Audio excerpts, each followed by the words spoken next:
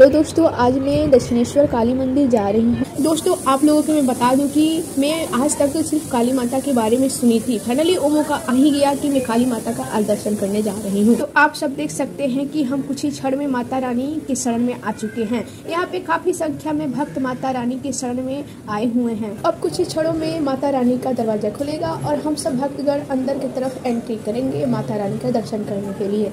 इस मंदिर में माँ काली की असीम कृपा रहती है और यहाँ पर आने वाले भक्त उनके प्रेम और कृपा को प्राप्त करते हैं। और कहा जाता है कि इसी मंदिर में रामकृष्ण परमहंस ने अपने योग्य के उच्चतम स्तर को प्राप्त किए थे। इस मंदिर में रामकृष्ण परमहंस ने काली माता के सच्छात रूप का दर्शन किए थे। मंदिर से जुड़कर ही गंगा नदी बहती है, जिसे बंगाल में लोग हुगली नदी के नाम से जानते हैं।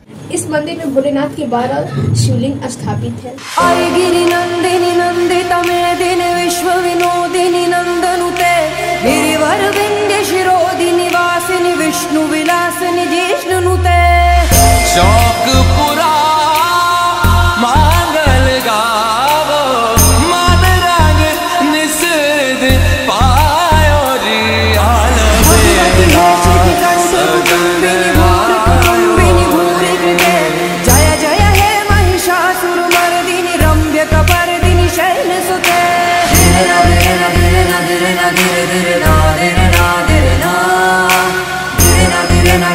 Madre, Madre.